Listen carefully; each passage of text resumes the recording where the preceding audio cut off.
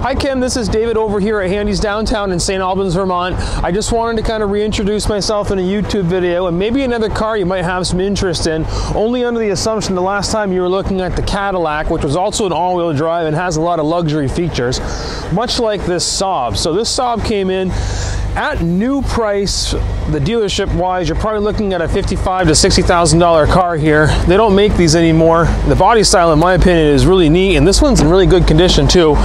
A lot of those same features, though, again, as far as the leather packages and stuff. Overall ride comfort and size of the vehicle, I think you'd find, again, very close to that Cadillac if you were interested in something like the Saab here.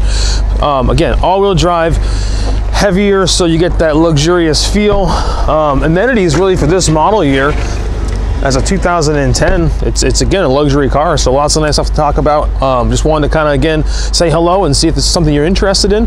Let me know either way through email. You're welcome to call too at 802-528-2247 thanks again